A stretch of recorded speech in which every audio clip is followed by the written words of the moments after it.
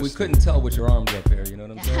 I see you Dude, sleeveless why don't you on, flash know? them guns Yeesh. for everybody real quick? She's Go back to the gym. Take them to the gun show and shit. Yeah, so she, you you practice it as well. You're not just talking the talk. You're Yeah. walking the walk over here. I, yeah, I do practice what I preach, but I don't. You know, I had to tell you with my second book, "Beer is Good for You." It discusses the health benefits of moderate consumption of beer and alcohol.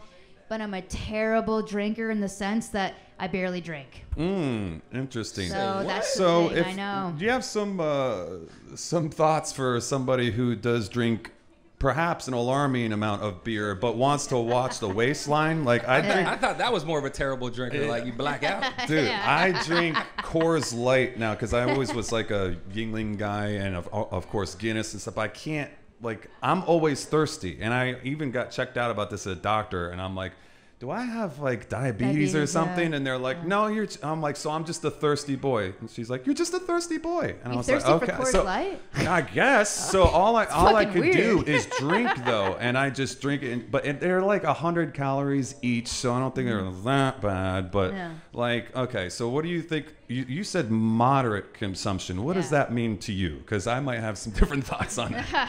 yeah, that's it's funny because when I, you know every time I do comedy shows or beer seminars, uh, yeah, well usually comedy shows when I mention the word moderate, everybody wants to know what that means. Yeah. But in research is what we have to go by. So We gotta U- get Anna a drink, by the way. Sorry. What do you No, want no, to I drink? can't. I can't. I Water? gotta dri- uh, yeah, no, yeah, I have water. I'm okay. Okay, Thank you. You all right, guys so- are good. What are you in season?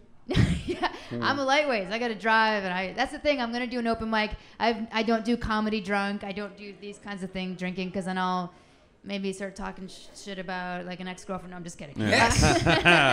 but that's what we want. I know, I know. I do it anyway sober. I'm more dangerous sober. So I What's her name? it- Fuck her. What's her name? There's like 500. What do you mean? Damn, okay, big time. So, Okay. so, all right. So in research is what you got to look at. In the U.S., which isn't as fun, moderate is defined as up to one drink for women and for men up to two drinks. In an hour?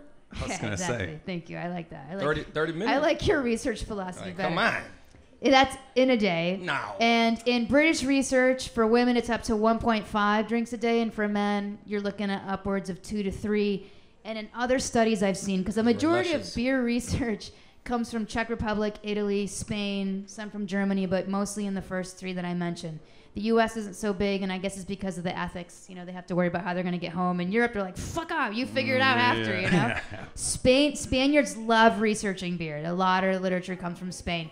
But their their definitions can be upwards for women one to two drinks a day and for men three to four. But again, it all depends on what health benefit they're finding in that study. But typically moderate is defined as the lower end. Okay. The sad the sad lower end. Dude, I am. I, you know what I think of sometimes, and it helps me sleep at night, is that old man from Grumpier Old Man, and he's like, "I drink beer and eat bacon all day," and he's like hundred years old, and obviously that is not going to happen to me. But I like to think that it's a possibility.